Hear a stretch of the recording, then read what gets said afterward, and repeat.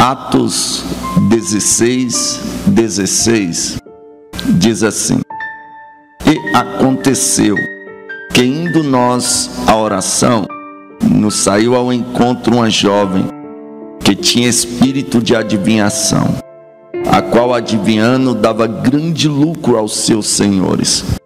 E esta, seguindo a Paulo e a nós, clamava dizendo: Estes homens que nos anunciam o caminho da salvação são servos do Deus Altíssimo. E isto fez ela por muitos dias. Mas Paulo, perturbado, voltou-se e disse ao Espírito: Em nome de Jesus Cristo, te mando que saia dela. E na mesma hora saiu. E vendo seus senhores que a esperança do seu lucro estava perdida, Paulo e Silas os levaram a prenderam Paulo e Silas e os levaram à praça, à presença dos magistrados. Apresentando-os aos magistrados, disseram: Estes homens, sendo judeus, nos perturbaram a nossa cidade e nos expõem a costumes que não nos é lícito receber nem praticar, visto que somos romanos. E a multidão se levantou unida contra eles, e os magistrados, rasgando-lhe as vestes, mandaram-os açoitar com varas, e havendo-lhes dado muitos açoites, os lançaram na prisão, mandando o carcereiro que os guardaste com segurança, o qual, tendo recebido tal ordem, os lançou em cárcere interior e lhes segurou os pés no tronco.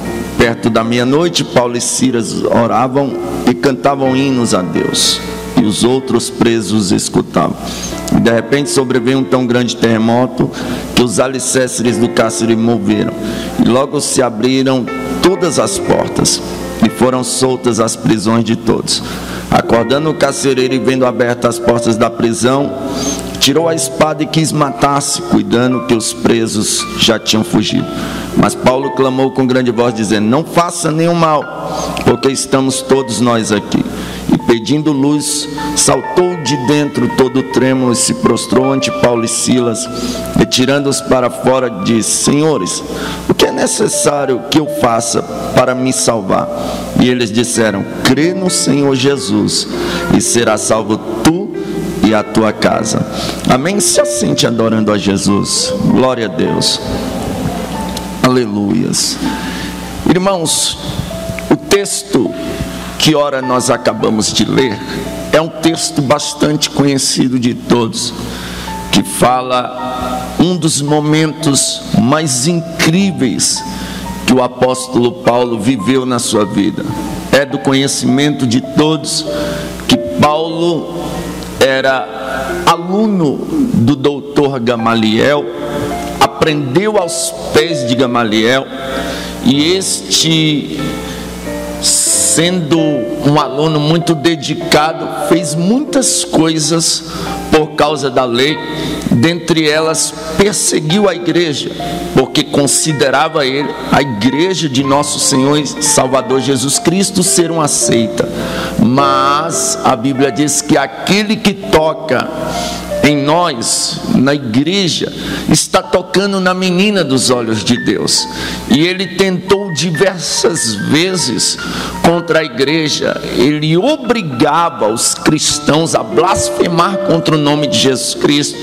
Perseguiu bastante, até que um dia ele pede cartas para ir a Damasco. Tudo isso em nome da lei, em nome da religião. A religião é um perigo aleluias, os religiosos eles fazem de tudo, até matam para demonstrarem serem santos, para demonstrarem serem os homens da lei, e isso é perigoso. Então, em nome da religião, ele agora está indo a Damasco para perseguir a igreja, para acabar com um culto como esse. Só que Jesus aparece a ele no meio do caminho, ele cai quando vê aquela luz forte, aquela voz: Paulo, Paulo, é duro contra ti recalcitrar contra os aguilhões porque tu está perseguindo a mim, Paulo. E ele, Senhor, quando foi que eu te persegui? Quando tu persegue a igreja, a mim tu persegue, Paulo. Aleluias, ainda se chamava Saulo, e Deus então, que, que Jesus faz? Deus dá uma ordem ao profeta Ananias que agora vá orar por ele, vá pôr as mãos sobre ele, para que ele seja cheio do Espírito Santo. E Ananias teme, Senhor, eu tenho ouvido os males que esse homem faz. E o Senhor quer que eu vá lá. Pois é, vá, porque é para mim um vaso escolhido. Mas estava perseguindo a igreja, mas eu escolhi. Mas era cachaceiro, mas eu escolhi. Mas era traficante, mas eu escolhi. Mas era macumbeiro, mas eu escolhi. Mas não prestava, mas eu escolhi. Mas estava perdido, mas eu escolhi. Dava trabalho, mas eu escolhi. Quando Jesus escolhe, acabou. Pode alguém querer apontar o passado, pode falar o que for. Uma vez que ele escolheu, está escolhido escolhido e pronto. Aí ele vai, ora, porque Saulo fica cego quando ele vê, o Senhor aparece no seu resplendor máximo, provavelmente. Ele ora e as escamas caem de seus olhos, e agora ele chega é, testemunhando de Cristo pregando o Evangelho. E o povo que está ouvindo não está entendendo nada. Porque ontem ele estava contra o Evangelho e hoje ele está a favor do Evangelho. Talvez teu marido hoje está contra o Evangelho. Talvez teu filho hoje está contra o Evangelho. Mas amanhã ele vai estar defendendo o Evangelho. Louvado seja Deus. Porque é assim que Deus faz. Quantas pessoas odiavam crente, os nordestinos, eles têm mania de dizer, é, fulano agora passou para a lei de crente. Eu não gosto desses povos aí da lei de crente. Aí fica crente e defende a lei de crente. Aleluia. Louvado seja Deus por onde passa. É assim que Jesus faz. E agora, Saulo, que agora é Paulo, vai defender o evangelho. Quando ele passa a pregar o evangelho, ele perseguiu. Agora ele vai ser perseguido.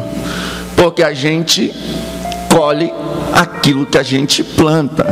Então, cuidado com o que você anda plantando, amém? Aí ele é perseguido, tentam matar ele, mas escondem ele, colocam um cesto, desce pelos muros de Jerusalém, e Paulo vai ficar 14 anos escondido. 14 anos escondido, isso me chama muita atenção, né? porque a convenção dele foi maravilhosa extraordinária. O próprio Jesus pregou para ele, será que o cabo era ruim de aceitar Jesus? O próprio Jesus ganha ele, aleluias, para si mesmo, ele se converte. Agora Ananias vem, põe a mão, ele é cheio do Espírito Santo, as escamas caem. Olha a história desse homem. Agora ele chega pregando, só que agora ele fica escondido. Tem gente que tem um início ministerial extraordinário, que todo mundo já vê que tem uma grande chamada. Deus usa profetas como Ananias confirma a chamada, confirma o ministério e de repente essa pessoa some.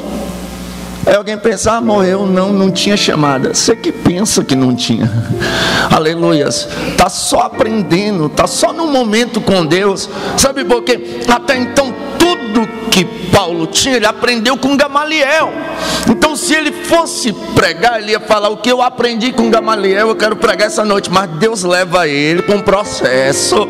Depois desse processo que dura 14 anos, ele chega, mas agora ele não vai pregar o que ele aprendeu com Gamaliel, ele vai dizer o que eu recebi do Senhor, é isso que eu vos ensinei.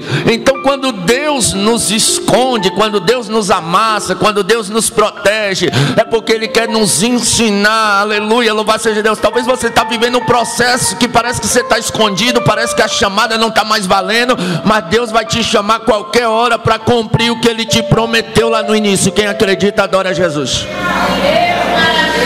Aí agora ele aparece. Quando ele aparece, agora o bicho está brabo. No conselho dos discípulos, ele está tomando decisões doutrinárias. Nas reuniões de obreiro, a palavra dele tem peso. Oh glória, é por isso que Deus leva o crente para o processo. O problema dessa geração mimimi é que não quer passar pelo processo. Se não tem oportunidade, vou mudar de igreja, vou procurar outra igreja que reconheça o meu valor. O problema não está na igreja, meu querido, de que adianta ser reconhecido pelos homens e não por Deus. É melhor ficar no processo, porque depois que passa o processo, aí, irmão, já era. Aí a palavra tem peso, aí aonde falar, Deus fala. Aí aonde estender a mão, Deus estende junto. É por isso que é importante o processo. Pelo processo. Ele aparece. Agora ele vai fazer algumas viagens missionárias que todo mundo conhece. Ele vai viajar com Barnabé. Barnabé era um companheirão. Até que eles na viagem levam um garoto chamado João Marcos. No meio do caminho, João Marcos volta para trás. Quando vão viajar de novo, agora João Marcos quer ir e Paulo fica irritado. Paulo, não, esse menino não vai. Ele abandonou a gente aí no meio do caminho. Aí Paulo e Barnabé se desentendem. Peraí, dois obreiros se desentenderam? Sim. Por causa de outro obreiro? Sim. Isso acontece. O que não pode acontecer é Jesus voltar e esses dois obreiros estarem desentendidos. Acontece na nossa trajetória de a gente se desentender com alguém, como diz no Nordeste, emendar um bigode com alguém? Sim.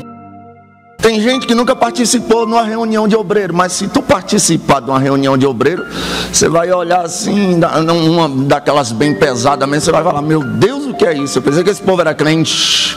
Tem reunião de obreiro que parece que nem o nosso pastor é crente. É, irmão, negócio, mas no final dá tudo certo, tá todo mundo orando, tá todo mundo crente, tá todo mundo unido. Porque essas coisas acontecem no decorrer da nossa caminhada. Nós vamos nos desentender com alguém? Sim. Paulo se desentende com Barnabé por causa de João Marcos. Mas quando Paulo está prestes a partir, quando ele diz que combateu o bom combate, acabou a carreira, guardou a fé, sabe o que, que ele vai dizer? Olha, traga os meus livros e traga também João Marcos, porque é de muito valor para mim. Entenda, no início ele fica triste porque João Marcos o abandona, agora ele está reconhecendo o valor de João Marcos. Eu vou liberar uma palavra profética, talvez alguém se desentendeu com alguém, mas esse alguém ainda vai fazer a obra junto, porque o Espírito Santo vai colocar cada coisa no devido lugar, irmão, não vai ficar de coração chateado com nenhum irmão, porque a Bíblia diz, aleluia, que a gente tem que seguir a paz com todos e a santificação, sem a qual ninguém verá o Senhor. Não desentendeu com alguém? Procure ele e peça perdão. Entenda, o maior prejudicado num pedido de perdão é o inferno. Louvado seja Deus. Aí o que, que acontece, irmãos? Agora Paulo vai viajar novamente, só que ele vai tomar consigo Silas. Ele vai levar Silas consigo. Quando ele passa ali pelas regiões ali da Ásia, o Espírito Santo não deixa que eles preguem ali. O Espírito Santo impede eles de pregar ali na fringe ali. E, e isso me chama atenção. E eles obedecem. Eles não vão pregar. A vontade era de ir pregar lá, mas Deus falou: não vai. Então eles, como os bons servos de Deus, não vamos. Ah, mas a oferta lá é grande. Não vamos. Ah, mas a igreja lá é grande. Não vamos. Ah, mas lá o terreno é amplo. Não vamos. Se Deus falou que não é para ir, não vá e ponto final. É melhor obedecer do que sacrificar. E de que adianta ir sem Deus ir junto? Você vai fazer o que lá sem Deus? Aleluias. Até que Paulo vai ter uma visão. Ele vê um varão macedônico que está chamando ele: Olha, Paulo, venha, venha, acenando, passa a Macedônia e ajuda-nos. E Paulo entende que Deus quer ele na Macedônia. Ele vai mais Silas agora para Macedônia. Chegando lá, uma mulher chamada Lídia, que era uma mulher de ótimo testemunho, uma mulher crente insiste ali para eles ficarem ali na casa dela e eles ficam. E agora eles têm uma rotina que todo crente tem. Crente aonde chega, ele procura um lugar para orar, porque crente não vive sem orar né? Assim como o oxigênio é para a gente respirar e ficar vivo, é a oração para o crente ficar vivo espiritualmente falando. A gente tem que orar. Crente ele anda orando, ele dorme orando, ele pesca orando, ele dirige orando. Crente é. De vez em quando você vê alguém falando sozinho no carro assim do seu lado, você fala: Meu Deus, o fulano está falando sozinho, está nada, ele está falando com o Pai, o Filho e o Espírito Santo de Deus. Crente é, a gente tem que orar, a gente tem que orar e orar e orar. A, batalha do crente é na oração, o crente está na prova, ele vai para a oração. Não adianta brigar, não adianta. É, eu dizia algo numa pregação que a derrota de muitos crentes hoje é querer resolver o negócio assim, ó, na vertical aqui na terra. Não, vou resolver com minhas próprias. Não, não, não. O negócio com crente se resolve assim, ó. A gente pega a batalha e leva para cima. A gente é como águia. A águia, o inimigo mortal dela é a serpente, não é? Se a águia for brigar com a serpente no chão, ela perde, porque a estabilidade da serpente está no chão, a estabilidade da águia está no alto. Então pega a sua luta e leva para o alto. Como é que eu faço isso? De joelho. O crente ainda resolve as coisas orando. Louvado seja Deus. E Paulo agora orar. Só que quando Paulo passa, ele encontra um problema. Que de início não é muito um problema, de início parece normal. Tem uma moça tem um espírito de adivinhação, e a Bíblia diz que ela dá muito lucro para os seus senhores. E quando Paulo e Silas passam, ela olha e diz: Esses homens que vos anunciam a salvação. Crente tem que anunciar a salvação. Não é o pecado de quem caiu, de quem errou, de quem. Não, não, não. Não perca seu tempo anunciando miséria dos outros, não. Anuncie a salvação. Que saia palavras da sua boca que edifique, não que escandalize. Vi uma geração que gosta de anunciar tanto fracasso dos outros. Irmão, se eu não posso ajudar alguém a estender as mãos para se levantar, porque a Bíblia diz: quem pensa está de pé, cuide para que não caia anunciam a salvação. Esses que vos anunciam a salvação são homens de Deus. Aí Paulo passa. Outro dia Paulo passa de novo. Esses que vos anunciam a salvação são homens de Deus. E aquilo vai incomodando Paulo. Até que chega um dia que o crente, irmão, não é porque é crente que todo dia que ele está de bom humor, não. Tem dia que a gente amanhece que se o cão entrar na nossa frente, ele volta para o quinto dos infernos, ligeiro. É, aí Paulo esse dia amanheceu meio brabo. Aí vem a mulher de novo. Esse que vos anuncia, Paulo, cale a boca! Espírito imundo, em nome de Jesus, sai dela! Ela. Aí a Bíblia diz: vendo os seus senhores que a esperança do seu lucro estava perdida. Isso me chama a atenção, por quê? Porque ela adivinhava, e isso gerava lucro, revelação que gera lucro, não vem da parte de Deus, isso é coisa de adivinho. E na internet, estamos na era da internet, o que mais tem são homens e mulheres que têm um espírito de adivinho. Eles ficam lá na internet, é, é só você entrar no Facebook, as lives das revelações. Eles ficam lá revelando, e revela, revela. Eles revelam mais em meia hora de live do que João no Apocalipse inteiro. É incrível, eles ficam lá revelando, revelando, revelando. Aí a gente olha, tem 11 mil pessoas online, aí a gente pensa, meu Deus, será que tem algum crente na nossa congregação online aí? E eles ficam lá e revela, revela. Aí eles param e dizem assim: Olha, Deus me revela 100 pessoas aqui agora que se compartilhar tem uma palavra de Deus para você. Aí eles mandam o número. Quando a pessoa entra no número, tá lá, eu tenho uma palavra de Deus para você, mas você tem que fazer um pix de 100 reais. Ou seja, eles não estão revelando nada, são adivinhadores, adivinham para gerar lucros, mas Deus está levantando uma geração de Paulo e Silas, e a mamata desses palhaços vai acabar. Aleluia, louvado seja Deus. Chega, essa desordem vai ter fim, porque Deus está levantando uns cabra macho e umas mulher fêmea que terá coragem para repreender, para ir contra esses espíritos de adivinhação falsos profetas. Ezequiel disse acerca deles que eles dizem, Ezequiel 13, quando dizendo assim diz o Senhor, quando o Senhor não está dizendo nada. Eles estão lá toda hora. Deus está falando, Deus está me mostrando. Assim diz o Senhor. E Deus lá do céu, eu mesmo não. Ah, não, não, não, não. Mas as pessoas gostam disso. Quer ver a igreja encher?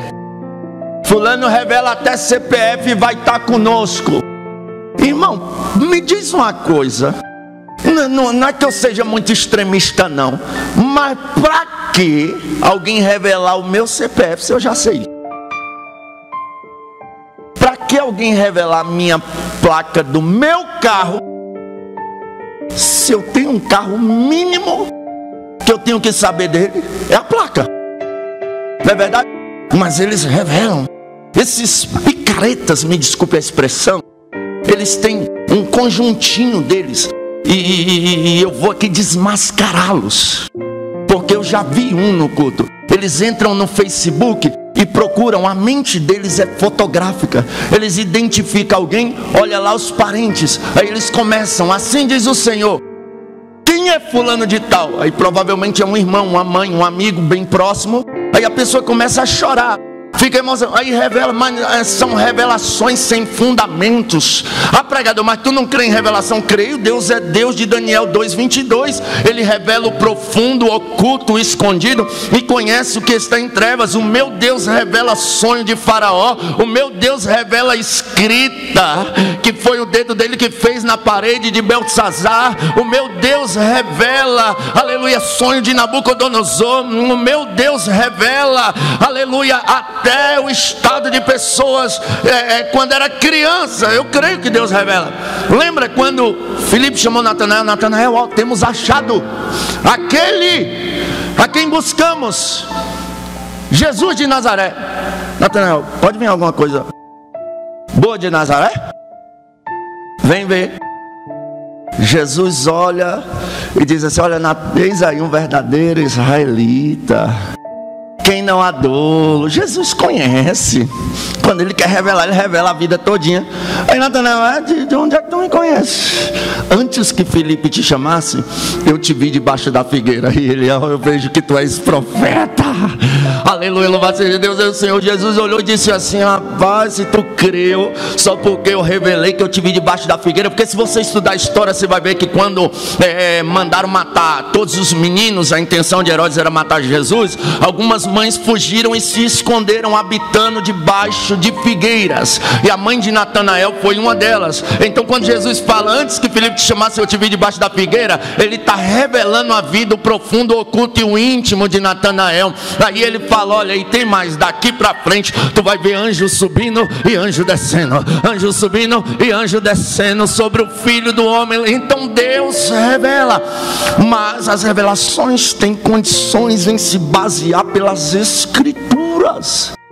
Mas se elas são feitas para gerar lucros, são espíritos de adivinhos, homens que se dizem ser usados em cura, mas é, é, só curam se tiver ofertas absurdas, aleluia, só curam se gerar lucros, não é cura divina, são curandeiros, aleluia, são médiums, e Deus não trabalha com médiums, Deus trabalha com profetas, e Ele dá os dons de curar e os dons de maravilha para ser usado pela igreja, mas de graça recebei, de graça dai.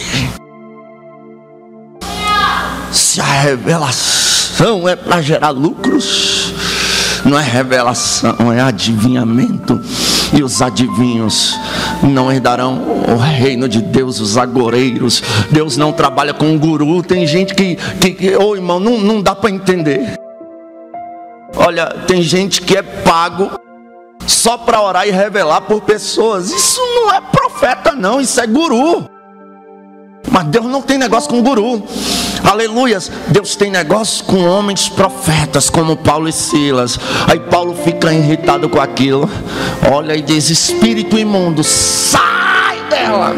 O espírito saiu. Aí a esperança do lucro acaba. Prendem Paulo e Silas. Açoitam Paulo e Silas. Por quê? Porque expulsaram um demônio não gostaram. Peraí, o povo, em vez de ficar feliz, porque um, um, um demônio saiu. Não, mas isso acontece até nos dias de hoje, irmão. O povo parece que gosta do lado ruim da coisa. O povo não gosta de honestidade, gosta de ladrão.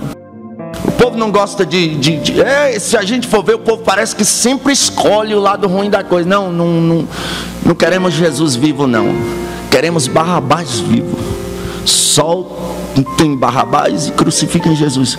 É, o povo parece que gosta do, do, do, lado ruim. Então eles ficam irritados. Pegam Paulo e Silas, os açoitam e os mandam prender num presídio de segurança máxima. Irmãos, que alta periculosidade Paulo e Silas tinham, pelo amor de Deus. Se o que eles faziam era só pregar, dar vista aos cegos, curar as pessoas, anunciar o evangelho de salvação, transformar vidas pelo poder da palavra, mas mandam prender num presídio de segurança máxima. E além de prenderem eles dentro da cela, ainda prendem os pés deles. Só que eles vão se revoltar contra Deus, dizendo: Deus, é isso que eu ganho, Deus te servindo orando, pregando, olha só onde eu estou, Deus, não vou mais te servir, não. Não é? Os crentes mimimi não são desse jeito. Quando entra na prova, mas Deus, eu sou crente, eu vou para ciclo de oração, eu subo um monte, eu desço um monte, eu vou passar por isso, eu quero mais saber de Jesus, não. A gente encontra muito assim. Uma vez, irmão, uma vez, é, deu vontade de tirar o cinto e dar uma surra numa moça.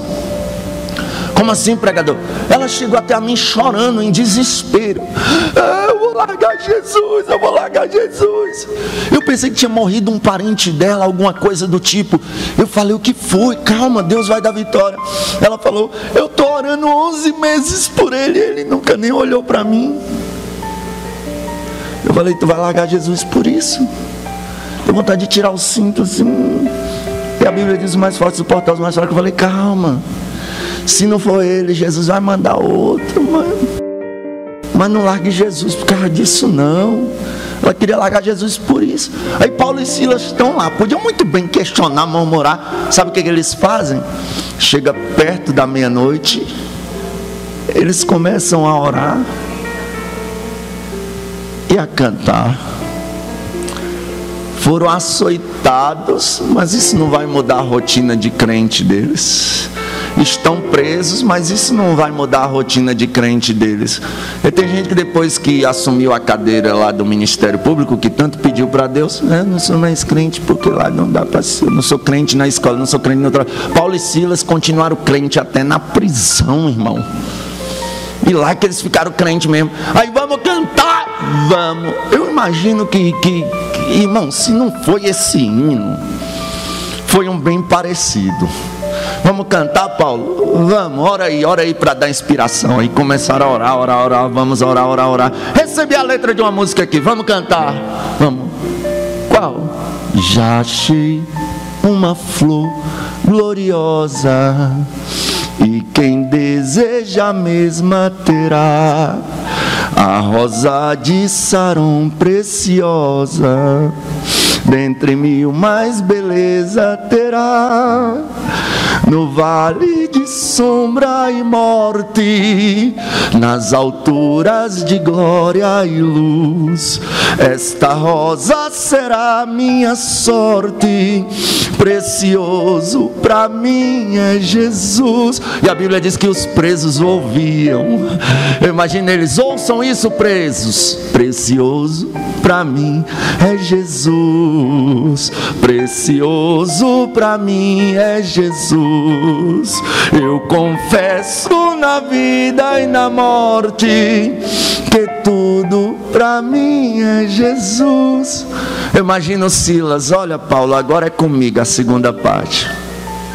Já de muitos foi achada a rosa e provado excelente odor, e o poder desta flor gloriosa que dá vida ao vil pecador. Vocês estão me ouvindo, Sim, tá vendo esse homem aqui? Muito zeloso, pela lei foi Saulo, perseguia o povo de Deus, mas hoje foi transformado em um Paulo, pois achou ele a rosa do céu céus, precioso para mim. Foi estremecendo tudo, foi estremecendo tudo, porque o nome de Jesus estremece o céu, estremece a terra, estremece o inferno, e começou a estremecer tudo. Aí a Bíblia diz que todas as portas foram abertas e as prisões dos pés de Paulo e Silas caíram. Sabe por que eu, esses dias eu vi algumas coisas que me chamou a atenção. Lázaro, Deus permitiu ele morrer. Quando ele estava morto, Deus chamou Lázaro, sai para fora. E a Bíblia diz que Lázaro estava com as mãos atadas e os pés atados e um lenço no rosto. Se ele estava com um lenço no rosto, é porque as mãos estavam amarradas para trás. Mas quando Jesus chamou, mesmo amarrado, ele deu um jeito de sair para fora. Mesmo cego, sem poder enxergar por causa do lenço, ele deu um jeito de sair para fora. Aleluia. Aí Jesus diz: ó, agora tirem as amarras das mãos e dos pés. Deus permite crente entrar na prova para libertá-lo, para tirar as amarras das mãos e dos pés. É verdade isso, pregador? É. Lembra de Sadraque, Mesaque Abidinego? Aqueceram a fornalha sete vezes mais amarraram as mãos e os pés. Quando eles entraram lá dentro, o fogo só queimou o quê? As amarras das mãos e dos pés. Agora Deus permite Paulo e Silas ficar presos, prendem os pés. Mas quando o terremoto vem, as cadeias dos pés são quebradas. Hum, eu já vou liberar uma palavra profética. Essa prova, esse vale, essa fornalha que tu está enfrentando, é porque Deus vai desamarrar alguém, é porque Deus vai libertar alguém. Foi dito aqui hoje. Aleluia. Eu sei que a nossa escolha é eu e a minha casa servir ao Senhor. Então Deus vai desamarrar das mãos e dos pés todas as amarras que estão prendendo a minha família e a tua. Quem acredita, levante a mão da glória a Deus. Pode estar tá amarrado na idolatria, as amarras vai quebrar. Pode estar tá amarrado, aleluia, no homossexualismo, no lesbianismo, as amarras vão sair. Aleluia. Pode estar tá amarrado na cachaça, vai sair. Pode estar amarrado nas drogas, vai sair. Pode estar amarrado não banda, que banda, seis bandas, sete bandas, sei lá, vai sair. Pode estar amarrado aonde tiver, vai sair. Porque o meu Jesus vai descer na terra e vai libertar. E a Bíblia diz, e aqui eu quero encerrar, mas olha só o que a Bíblia diz, e eu quero que você ouça, com aquele ouvido, quem tem ouvidos, ouça o que o Espírito diz às igrejas. A Bíblia diz que quando o terremoto sacudiu a prisão, todas as portas foram abertas. Oramacante, irabaia séria. Oracalachuriandarácia. Haverá um terremoto de Deus nas nossas vidas. Mas para que pregador? Aleluia, porque as portas que estão fechadas, todas, todas, todas serão abertas. Você está entendendo? Todas. A porta da vida sentimental será aberta, a porta do matrimônio será aberta, a porta da vida espiritual será aberta, a porta da salvação vai ser aberta, a porta de emprego vai ser aberta, a porta da faculdade vai ser aberta, a porta do campo missionário vai ser aberta. A balabacante, orebai, eu estou arrupiando até minha sobrancelha. O que é isso, pregador? É Deus que está abrindo todas as portas aqui hoje. Quem acredita, adore a Deus. Aí o carcereiro, quando vê as portas tudo abertas, ele pensa: e os presos fugiram? Estou enrolado, vou morrer mesmo, vou me matar. Ele pega a espada para se matar. Paulo grita: Não, não faça isso não. Estamos todos aqui. Ninguém fugiu. Como assim? De maior prisão, o Senhor nos libertou. Alamacante, Urimiandarabaia. Oh, glória de maior prisão, Deus libertou aqueles presos, então eles não vão fugir, porque agora eles estão libertos da, da, da velha criatura, eles estão libertos do passado, eis que tudo se fez novo, agora eles estão crentes em Cristo Jesus, sabe por quê? Porque alguém teve coragem de orar e cantar, mesmo na prova, mesmo no vale, continue orando, continue cantando, alguém será liberto Parece que não, mas alguém será liberto. Não é em vão o trabalho que você está fazendo. Grande será a recompensa. Aí o carcereiro, e o que é que eu preciso fazer para ser salvo?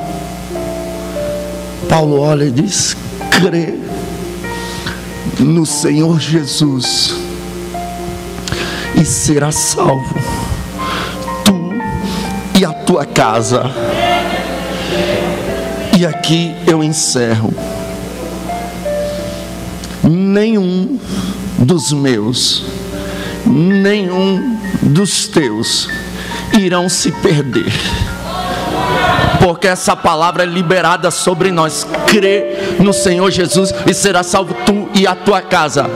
Nós não cremos então nós não abrimos mão da promessa, nós não abrimos mão da palavra. Jesus, eu criei, então eu e a minha casa serviremos ao Senhor, nem que seja no último momento. Deus vai salvar os teus, nenhum dos teus vai descer à sepultura sem a presença de Deus, ainda que Deus tenha que pôr no leito para tratar e salvar, mas nenhum vai se perder. Nós chegaremos no céu de glória e a nossa família estará conosco na eternidade também. Quem acredita nisso? Isso? Sabe, não tem a, aquela tua avó lá que é idólatra, que você pensa, não, ali não, não, não, não, não tem como não. Que seu parente que é afundado na Umbanda se julga ateu. Pois é, você creu, já era. A tua casa todinha será salva. Eu vou liberar mais uma palavra profética. Alguém ainda esse ano vai pedir a oportunidade e vai dizer: Eu estou feliz, porque hoje eu e a minha casa servimos ao Senhor. Se coloque de pé em nome de Jesus. Você que está precisando, necessitado, que alguma porta se abra na tua vida, vem aqui à frente, eu quero orar por você. Talvez você está precisando de uma porta de, de saúde. Uma porta. Pode, pode cantar um que cantora? Deixa Deus te usar. Glória aramacante, urebaia séria. Aleluias. Bora fazer aqui justamente o que Paulo e Silas fizeram: orar e cantar. Vocês cantam, eu oro, e vai haver terremoto, vai haver prisões caindo por terra, e vai haver portas abertas. Glória a Deus. Esses dias eu tenho visto Jesus curar tantas pessoas, irmãos. Pessoas com doenças crônicas, doenças hereditárias, e Jesus tem curado muito por onde a gente tem passado. Toda honra e toda glória é dada a Ele. Eu não sei qual é a porta que você está precisando que seja aberta. Esses tempos de crise aí, de pandemia, tantas portas se fecharam, né? Só que, deixa eu te dar uma informação para você ficar feliz. Pode ter fechado aeroporto, bar, restaurante, fronteira, praça, mas a porta que Jesus disse à igreja fiel: Eis que diante de vocês eu pus uma porta aberta e ninguém a pode fechar. Não fechou. Jesus disse: Ninguém a pode fechar, ela permanece aberta. Pandemia não fecha essa porta, a porta do céu está aberta. Ore calabarachandarabandagasuia.